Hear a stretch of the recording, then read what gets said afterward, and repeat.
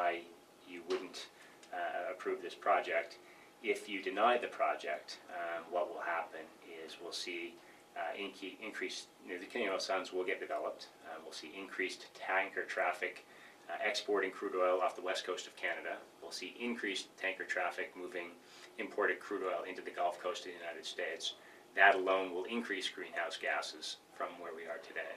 So denial actually means no greater greenhouse gas emissions.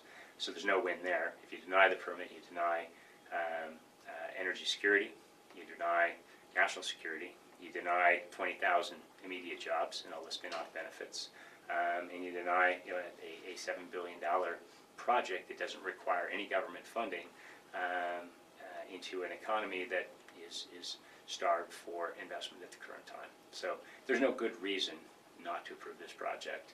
Uh, Denial is, is is just a a lose, lose, lose.